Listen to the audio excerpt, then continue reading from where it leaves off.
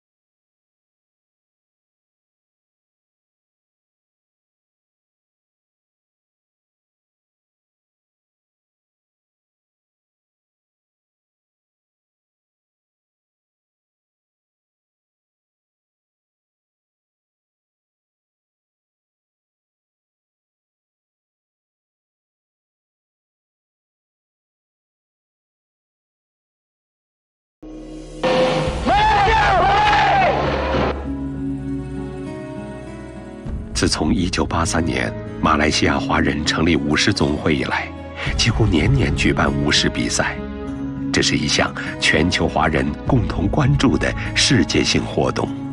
因为有比赛，就有一种切磋。那在切磋的过过程中，大家就取长补短。你要胜我，我要比你更强。那么在这样的情况。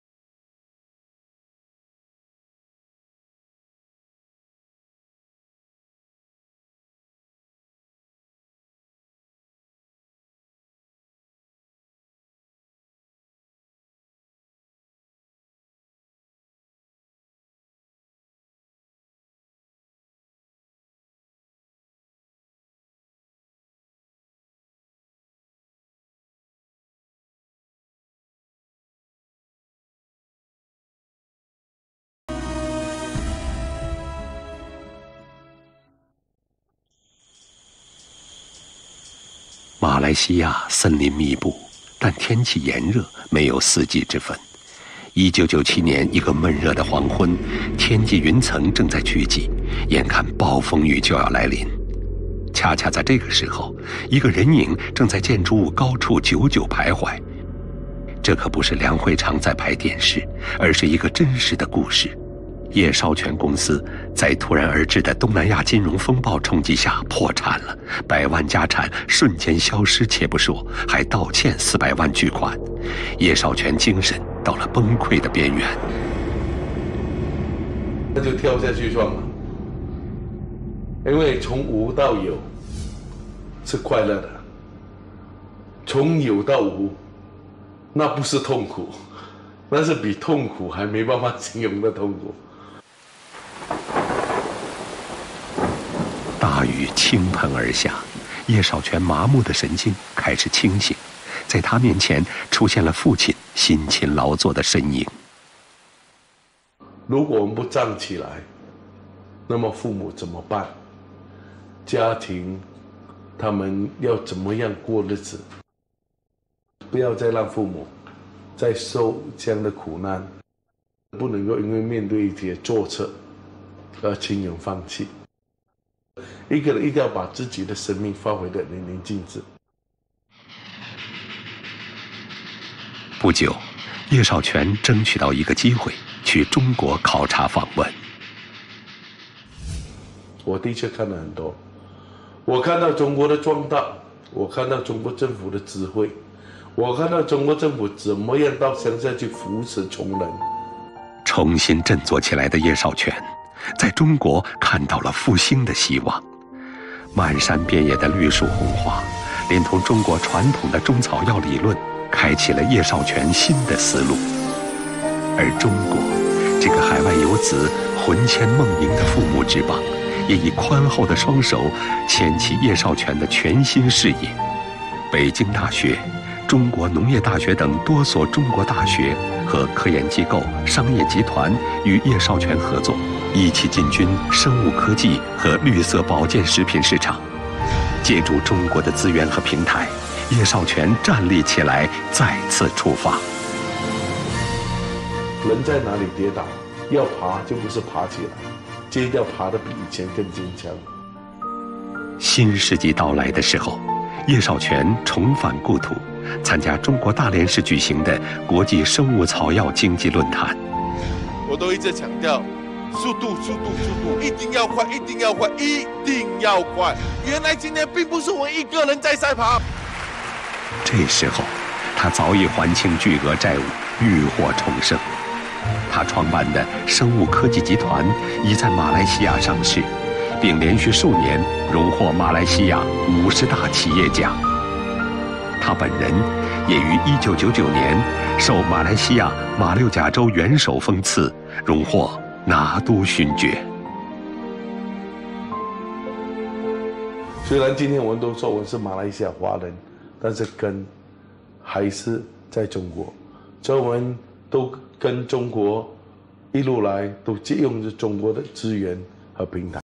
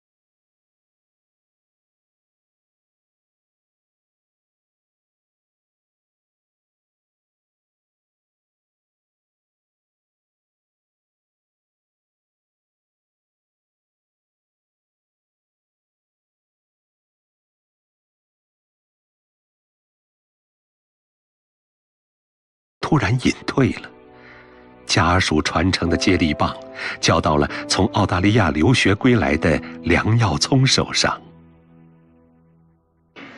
呃，耀聪是我最小的一个弟弟，父亲是在他两岁的时候过世的。其实耀聪差不多是我的，是我的弟弟，也差不多是我们的儿子，是我们从小一直把他带大。梁耀聪受姐姐启发，一直有一个梦想，就是办一个马来西亚中文电视台，让占马来西亚总人口四分之一的六百多万华人有一个交流的窗口和平台。我真正因为经历过东西方两个社会啊，在不同的生活过，更加明白就是一个人呢，还有文化对一个人很有有多重要。那我想我。就是其中的梦想，就是希望把我体会的可以跟这么多人去分享。办电视得花大钱，资金从哪里来？梁会长与先生商议，停止你一中的制片公司扩充计划，支持梁耀聪办中文台。我去外国读书是我姐姐供我去的，然后回来的工作。我说我要搞这样的东西，也是家人有开始以金钱上的支持，到后来，嗯，实际投入一起工作，姐姐加入我的公司一起去打拼，这个是很中国人的一个呃精神，就是一家人一起奋斗，一起去为了一个事业去努力。欢迎来到这个多姿多彩的感官世界，我们带给你最优质的休闲。随着新世纪的到来，良药从理想实现了。嘉鱼频道以崭新姿态出现在马来西亚荧屏上。八月中秋节前夕，嘉娱频道及时播出有关月饼的节目，这是马来西亚华人家庭的热门话题。而家就嚟到中秋，梗食月饼噶啦。再加上啊，呢一度整嘅月饼喺大马系口碑一流噶喎。诶，椰肉果、龙果呢个龙珠，有几多品种、品种真系好多食。不过点解？你慢慢品尝，先食出佢嗰啲香味，嗰啲味道，有油脂、油个味道都食。嘉鱼的独家制作，让你贴身追踪你偶像的最新动态。让我们一起用视觉。短短几年里，嘉鱼频道与中国广东、广西、福建、四川、上海、北京等地的电视台密切合作，打造成为马来西亚一家受人关注的。中文传媒平台，送中国百姓大小事情及社会热点新闻。有这么多的国家，为什么我选择的跟中国合作？我的答答复就是那个，是我的根，跟我最亲密、最最直接的关系就是我祖先也在那边，我那那边呃中国的文化跟我就可以可以说连成一线。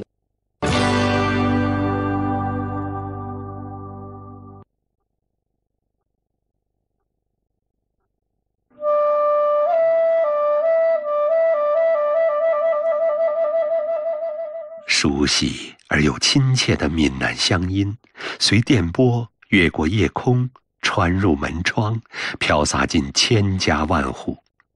许多华人家庭按时打开收音机，收听马来西亚广播电台播出的华语音乐节目。哟。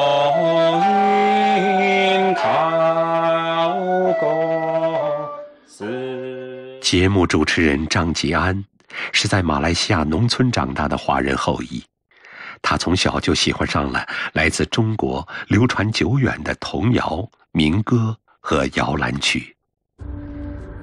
一代代华人先辈，吟唱着古老的乐曲，倾诉着他乡生活的艰辛，思念着故国和亲人。那么这种潮州歌声呢，就是当年老人家他们在闲暇的时候。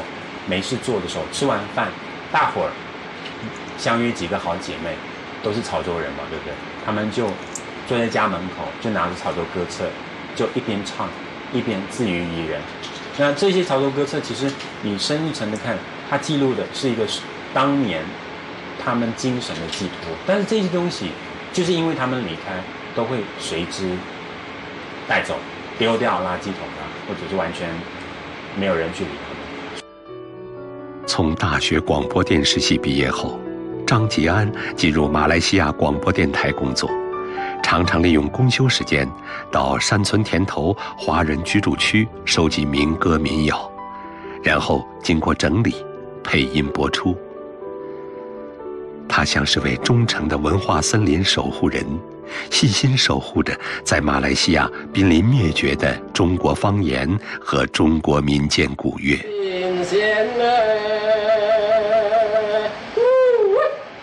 南京新花园炒米饼糯米圆，应海菜，思乡起。我是陈宝根啊，祖籍是上海，三江的家乡菜，上海八宝饭，三江的家乡菜的特色，三江民宿啊。我我希望就是能够通过这样子的广播方式，让大家知道说，这些人虽然走了。长辈虽然走，你们可以把它留下来，当成是你们家里的一个祖传的一个家宝来收藏。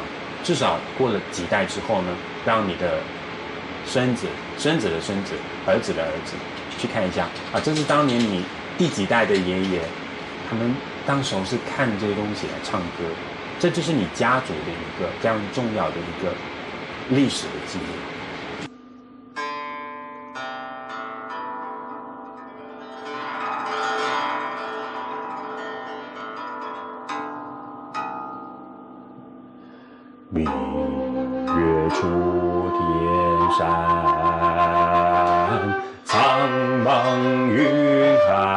天。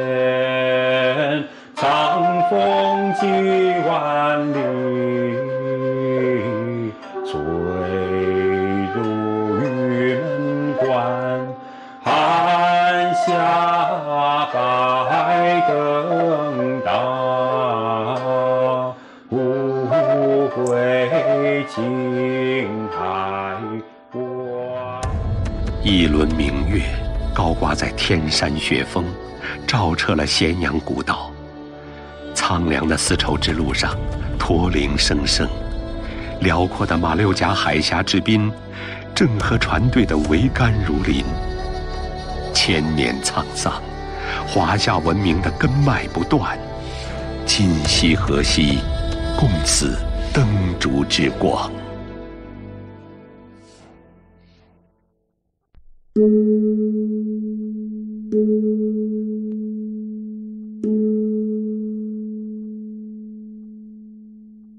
一年一度的中国农历新年，是马来西亚六百多万华人最重要的传统节日。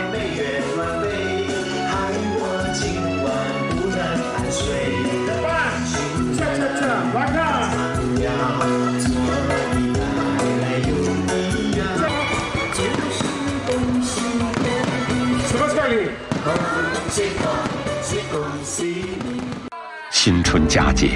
梁万松家里腾起欢乐的声浪，他们用这种叫做“捞生”的传统仪式迎接虎年的到来。这一天，自父亲故世后，一直在寻找家族之根的梁万松心情特别欢畅。因为我觉得根源除了自己的姓呢、自己的家族之外呢，每一样东西在我们血里面流的，跟中国上来的关系的东西，都是我们的根，都是我们的源。我觉得中国强盛会带动世界和平。北京主办奥运会的时候，我们每个都看住电视台。当那奥运做的这么好的时候，好多华人哭了，很感动。哎呀，你看中国可以做得那么好，中国的成功就是我们华侨华人骄傲。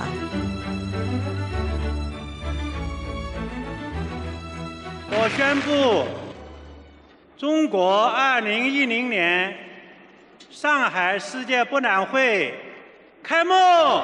Expo 2010 Shanghai China now open。二零一零年五月一日，世界又一盛事——世界博览会，在中国上海隆重开幕。马来西亚旅游部部长拿督斯里黄艳艳率团参加。天晚上，黄浦江两岸焰火怒放。这时候，距黄艳艳父母再次乘船远离故土，已经整整七十三年了。